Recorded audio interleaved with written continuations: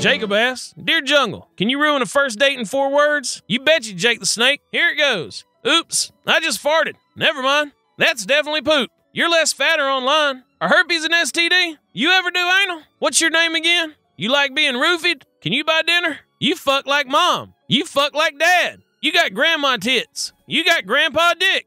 AIDS is curable, right? All of these are guaranteed deal breakers for when you swipe right on Mr. or Miss Wrong. Or for that matter, Mr. or Miss Fuck No Snake. Hell yeah.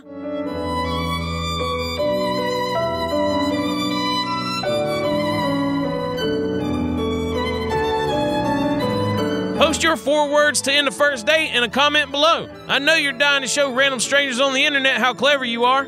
Don't lie,